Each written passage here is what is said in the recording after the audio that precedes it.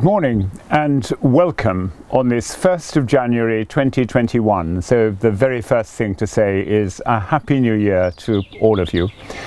It seemed the obvious place to come this morning to climb the medieval South Tower of the Deanery and stand here with a view over the, at present, silent city of Canterbury.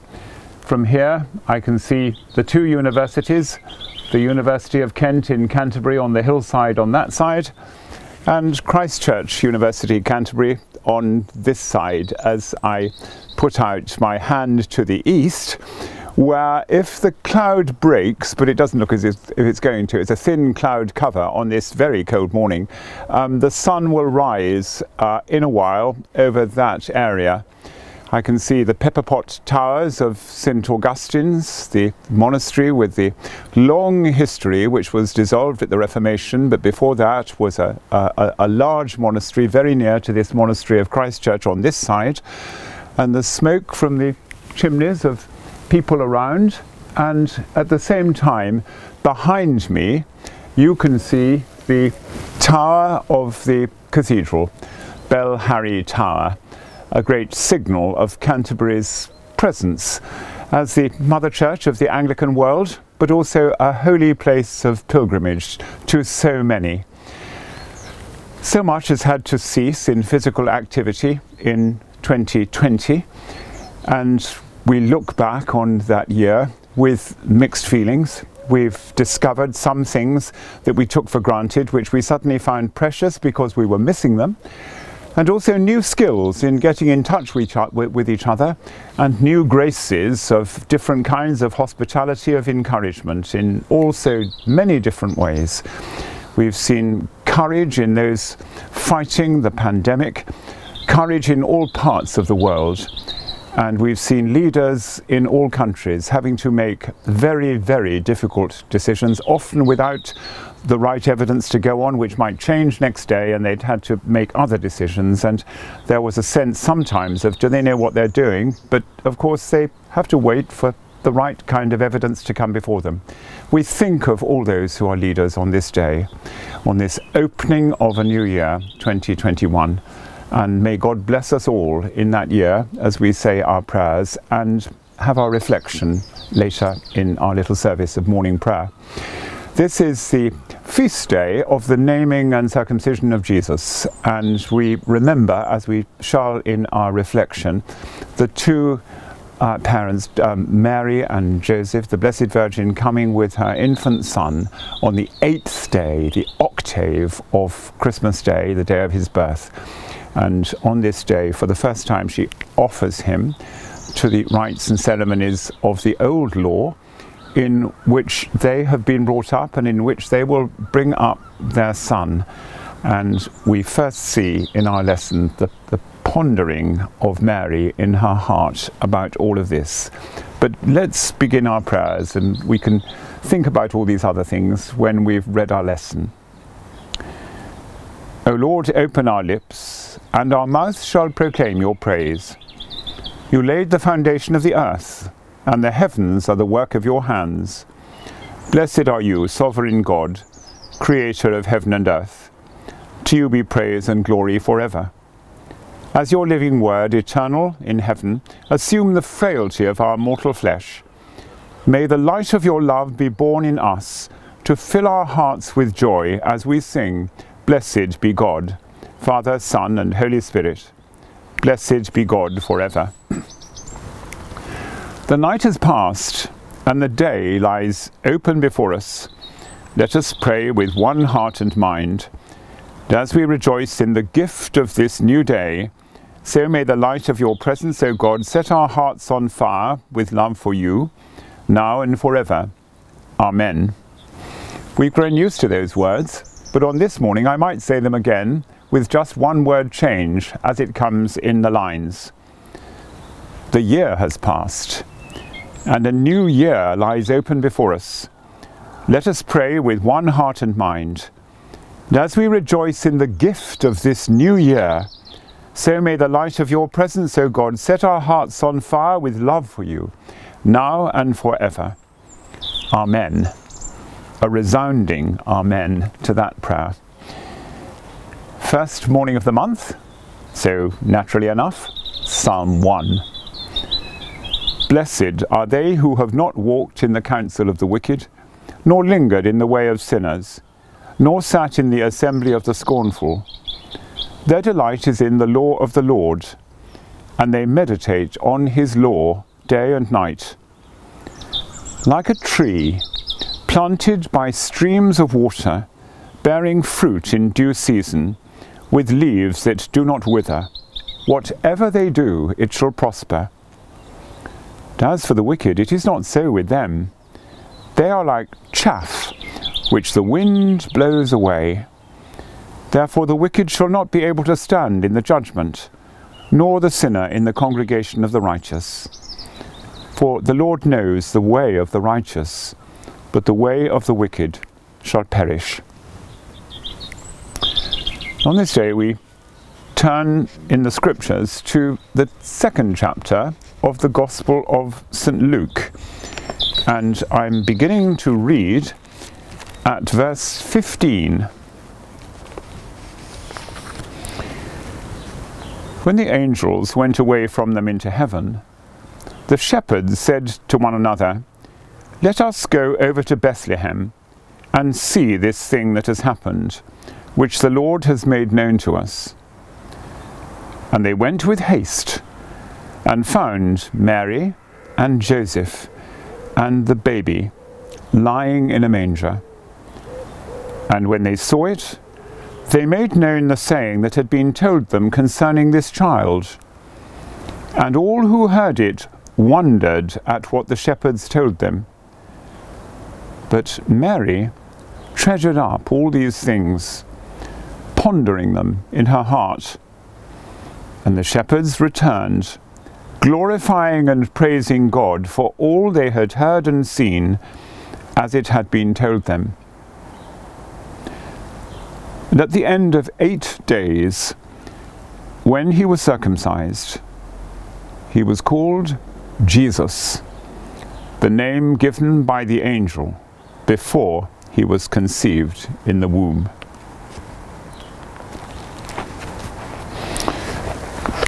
We see there two acts of obedience on the part of Mary and Joseph, and also an act of sacrifice on the part of Mary, I have no doubt in her heart, as eight days after the birth, an octave, as the church has always called it, the eighth day, always special. One thinks of it, or I do, on the piano with my hand just about able to stretch those eight notes, eight days after, according to the law of Moses. And that is the faith in which Mary and Joseph lived and would bring up their child. They went to have him circumcised. This is the first act of offering that the infant son would be enfolded into the community of Israel by this act. St. Luke in chapter 2 sketches three scenes where the Blessed Virgin gives her son to another and ponders in her heart, what is all this meaning? Here's the first one. And if you read that, it seems that the shepherds are responding maybe to a question from Mary or Joseph, what brings you here? And they tell what they have been told, and Mary, we have said this is the first time St. Luke uses this sentence, is ponders in her heart what all these things might mean. And here, eight days later, Mary and Joseph present their son for circumcision according to the law. And that is an act of obedience on their part, an obedience which Jesus would follow up at his baptism. Let all things be done like this for now. But for now also, Jesus has been enfolded into the community of his own people. The second scene, which we shall come to later in the year on February the 2nd, is the scene of the presentation in the temple. where once again Mary and Joseph find their son taken from their arms by old Simeon, who then prophesies that he will be a light to lighten the Gentiles. Suddenly, the mission of their son, the vocation of their son, is expanding across the world from his own people. But also the prophecy to Mary, and a sword shall pierce your own heart also, and the secret thoughts of many be laid bare. And the third time, in the same chapter, is the time when they go to the temple to find their 12, 12 year old son whom they've lost. And Our Lady says to the little boy, aged 12, My son, your father and I have sought you sorrowing. And Jesus, in the old words, said, why did you sorrow? Wist ye not that I must be about my Father's business? Did you not know that I must be about my, and one can put in the word Heavenly Father's business? Three acts of obedience, but also three acts of self offering of the most precious gift that Mary has. And that gift is given first to his own people and then to the world. It's a new beginning as today is a new beginning. If one looks at the dates which are important, they all tend to be dates where someone has made a decision, a resolution, if you like, uh, and sometimes it's a whole nation making a resolution. But that resolution is something about a new beginning. And beginnings are good times this day in 1660, Samuel Pepys began writing a diary and kept that up for nine years. Maybe many of you, I certainly do, write just some thoughts each day to keep on track and find the things I've failed in, the things I've realized, the things I've pondered and have no answer to, and all of those things. And that's something which began for Pepys on this day and he kept up with that for quite a while. And on this day also, many political events. In 1901, in Australia, New South Wales, Queensland, Victoria, South Australia, Tasmania, and Western Australia became the Federation of the Commonwealth of Australia for the first time. In 1912, the long imperial history of China ended with the establishment of the Chinese Republic. And in uh, 1898, the city of New York, annexing land around from surrounding counties, became the city of Greater New York, with the four boroughs, Manhattan, Brooklyn, Queens, the Bronx, and later in the month Staten Island to make the present five, a new beginning. And in 1801, the Union of Great Britain and Ireland created a united kingdom. And now, of course, the United Kingdom of Great Britain and Northern Ireland, with something of a new political beginning today also. In 1947, in Canada, those who were British subjects by the Canadian Citizenship Act became subjects of Canada in a new political arrangement to give a new life and a new beginning for our friends in Canada. All of those things, and January the 1st, of course, um, which, as I said yesterday, has not always been the beginning of the year. Uh, the beginning of the year happened in March for many, many years. But what did happen on January the 1st was in 45 BC, the Julian calendar took effect as the official civil calendar for the Roman Empire, and that did begin on January the 1st. So let all those things be the sense of this day being a new beginning. And also, something lovely happened on this day. In 1773, the hymn Amazing Grace was sung for the first time to accompany a sermon preached by John Newton. And that hymn has become a lovely hymn.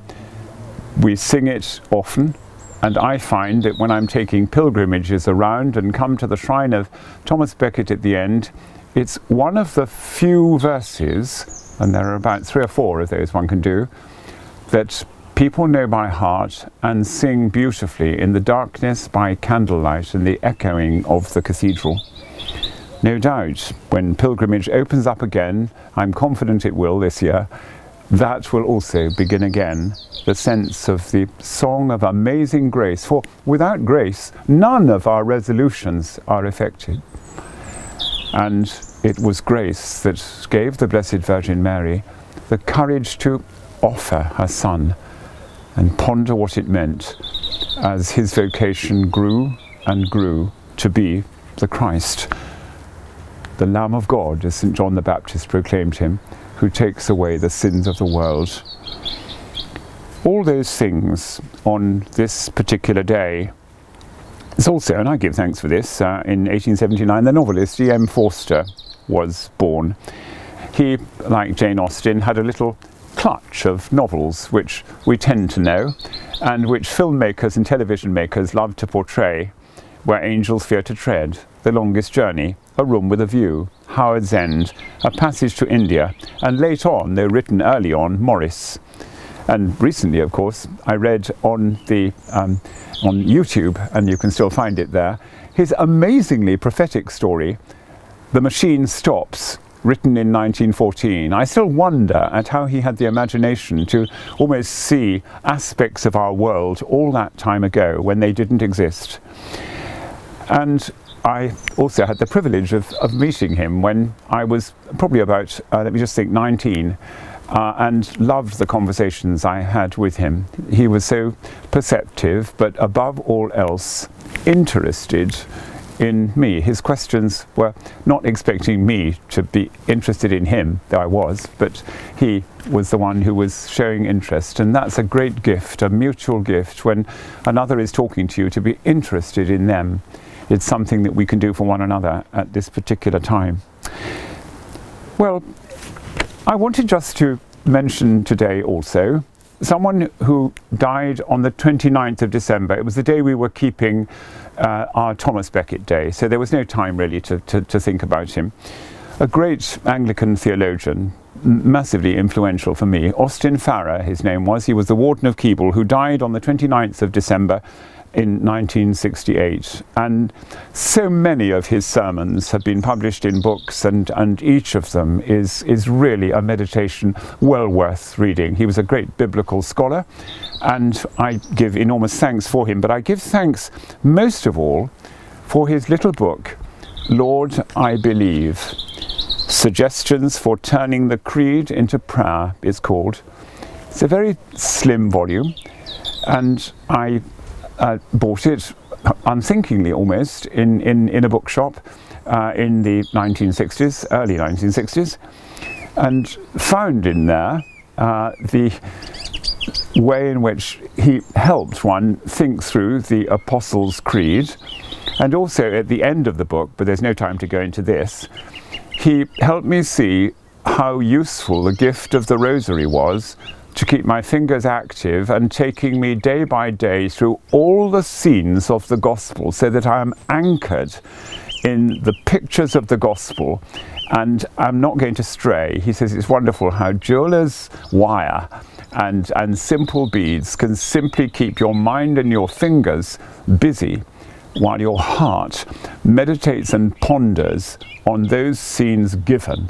Well, enough of that because uh, it's not what I want to say. What I want to say is that in that book, there is the most marvelous uh, little story about how he goes down to his allotment with some useful hours, a couple of hours quickly to spend on a summer afternoon and think, here I am, I've not had time down here, I must do lots and lots of work, and here's my new fruit net and all the rest of it. And then suddenly he sees a thrush and you must know that the thrush is my absolute favourite bird in England, and they and, and they actually sing at winter time, as you can hear.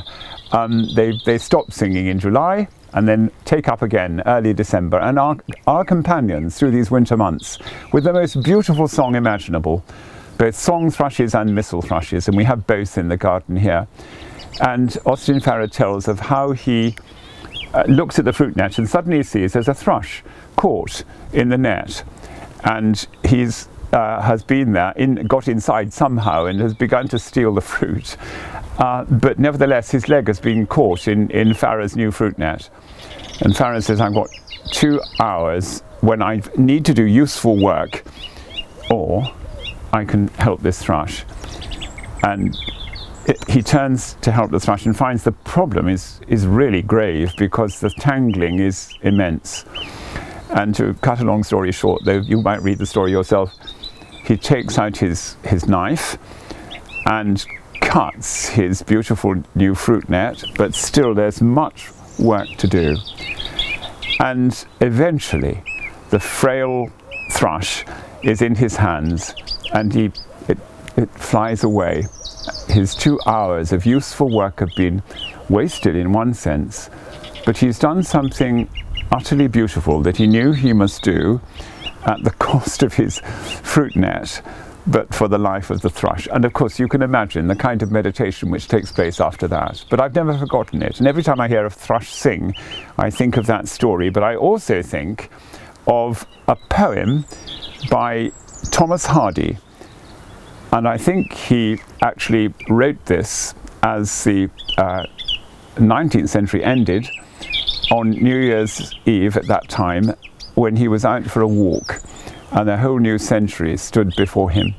And everything around him as this morning I can't see a human soul at the moment the city is still utterly asleep with the smoke of fires going through this, the uh, chimney.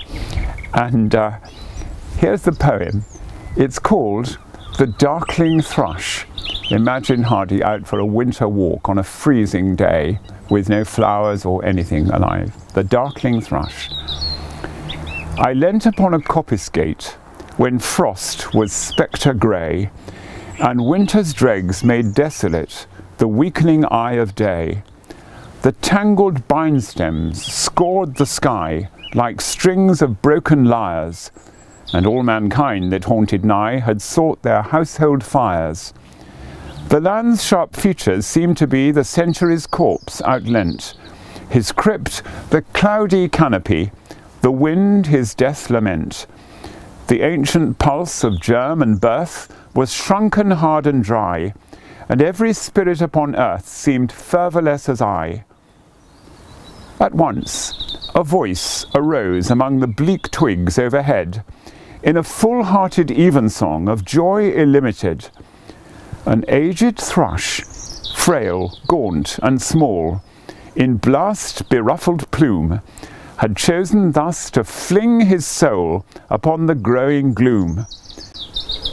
So little cause for carolings of such ecstatic sound was written on terrestrial things, afar or nigh around, that I could think there trembled through his happy good night air some blessed hope whereof he knew and I was unaware. It's a poem I never tire of hearing because, of course, it speaks of the blessed hope which creation gives us of new life, but also to me, it speaks of the blessed hope our Lady and St. Joseph give us on this day as they present their Son to be named in obedience to the angel. You will call his name Jesus. He will save his people from their sins. Thank God for this day. Thank God for this year. And may it be a year of grace to us all. Let's say our prayers. First, the prayer for this particular day. Almighty God, whose blessed Son was circumcised in obedience to the law for our sake, and given the name that is above every name, give us grace faithfully to bear his name, to worship him in the freedom of the Spirit, and to proclaim him as the Saviour of the world, who is alive and reigns with you in the unity of the Holy Spirit, one God, now and forever. Amen. and the collect for this time of Christmas. Almighty God, who wonderfully created us in your own image, and yet more wonderfully restored us through your Son, Jesus Christ, grant that as he came to share in our humanity, so we may share the life of his divinity, who is alive and reigns with you in the unity of the Holy Spirit, one God, now and forever. Amen. So, as we think of the life of all those around us and those whom we would want to pray for today, in the communion, we're praying for the Diocese of Aba in Nigeria in our own diocese, as we remember Archbishop Justin and Bishop Rose of Dover and Bishop Tim at Lambeth, we're praying for the whole life of faith, the whole response to Christ in every Christian community of whatever denomination on this day. And you will have friends in the same way across the world. So we say the Our Father in whatever language we like to use. Our Father, who art in heaven, hallowed be thy name. Thy kingdom come, thy will be done on earth as it is in heaven. Give us this day our daily bread, and forgive us our trespasses, as we forgive those who trespass against us. Lead us not into temptation, but deliver us from evil. For thine is the kingdom, the power, and the glory, for ever and ever. Amen. Moment of silence now as we make our own intentions, or if you want to call them, resolutions, and pray for grace to fulfill them.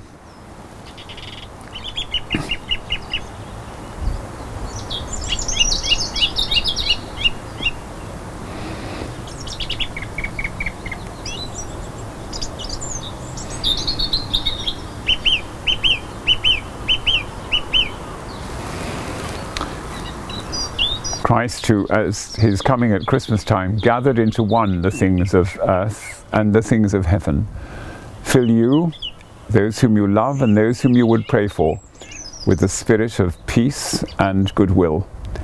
And the blessing of God Almighty, the Father, the Son, and the Holy Spirit be upon you today and always.